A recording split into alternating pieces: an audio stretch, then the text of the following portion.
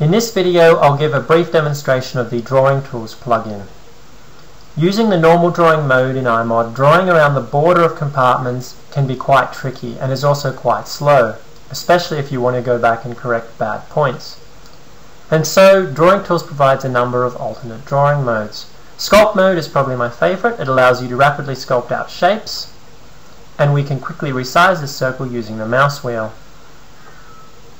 So here I'm segmenting a small elongated compartment and every time I depress the mouse it will automatically work out if I'm trying to start a new contour or modify an existing one.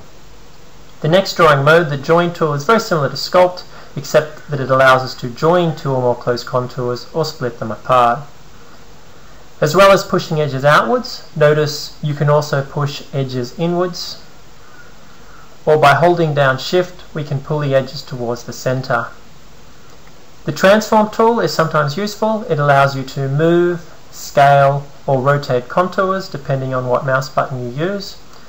The eraser tool can be used to delete regions of points or indeed entire contours.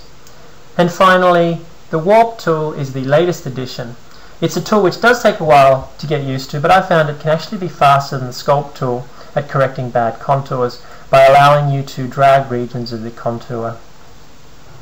And in addition to these drawing modes, it's also worth noting that there are several shortcut keys for smoothing contours and several other options which are listed under Help. It's also important to know, however, Drawing Tools is designed to complement Interpolator plugin. I'm now going to press Enter to interpolate this contour using spherical interpolation. Using Shift and the right mouse button, I can rapidly scroll up and down the slices.